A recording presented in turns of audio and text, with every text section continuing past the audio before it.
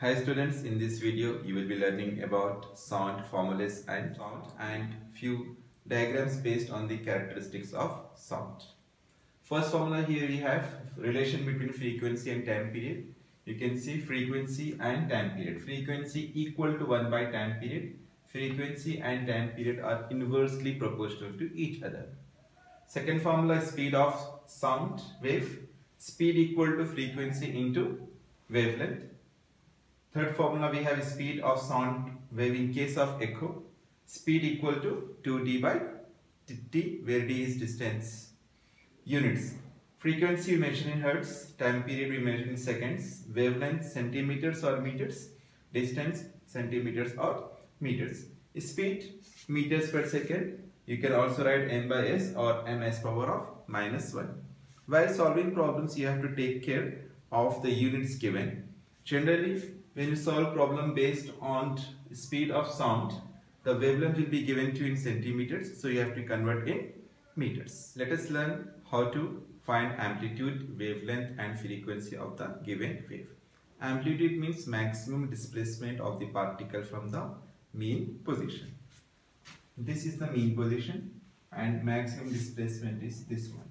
So put ruler at the center of the crest or trough, draw a line. So this distance will give amplitude. From here to here, this distance will give you amplitude. This is also amplitude, this is also amplitude, this is also amplitude. Let us check for wavelength. Wave length, length of one wave. So from here to here, if you put ruler, scale here, check the wave is starting from here and ending here. So this is one wavelength. You can check for this also. Wave starting from here and ending here. So wave length. Amplitude we represent with letter A. Wavelength we represent with letter lambda. This symbol is called lambda. Wavelength we can also mark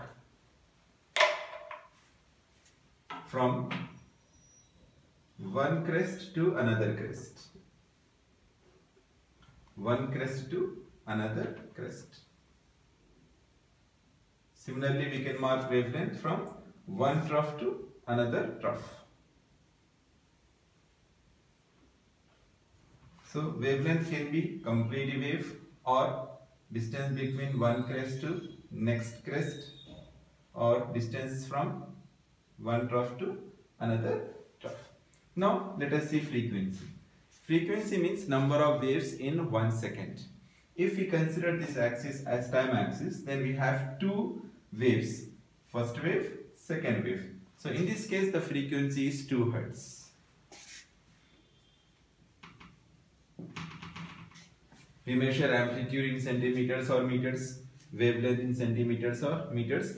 Now let us learn how to identify soft sound, loud sound, low pitch sound and high pitch sound. Here four figures you have. First we have to check for soft sound. Soft sound or loud sound means it depends upon amplitude. If amplitude is low, the wave sound will be soft. If amplitude is high, sound will be loud. Compare these two waves. In these two waves, this wave is having low amplitude and this wave is having high amplitude. That means low amplitude means soft sound, high amplitude means loud sound. That means amplitude and loudness are related to each other.